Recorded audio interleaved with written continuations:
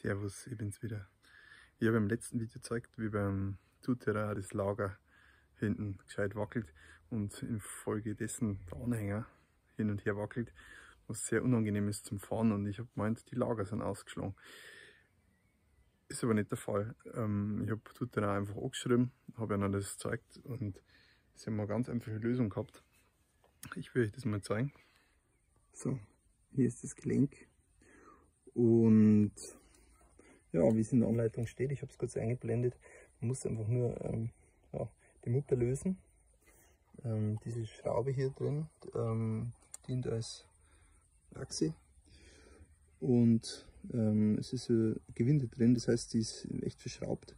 Und man kann dann, nachdem die Mutter gelöst wurde, die Schraube mit dem Innensechskant einfach nachziehen, also anziehen äh, und danach die Mutter wieder drauf. Und zwar und halt gegenhalten auf, mit dem Innensechskant auf der linken Seite hier, mit der rechten Seite die Mutter anziehen und dann ist es wieder fester.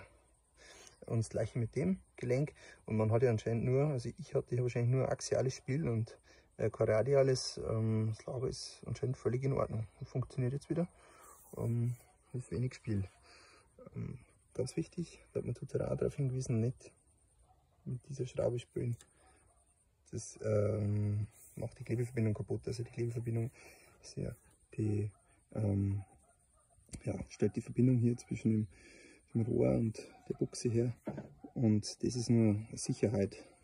Also auf gar keinen Fall hier dran was machen. Ja, und ähm, das war es eigentlich auch schon. Also, so genau, man sieht halt auch, dass der Tutor ganz toll ist, wenn man hinten einen Platten hat, weil dient halt als Montageständer.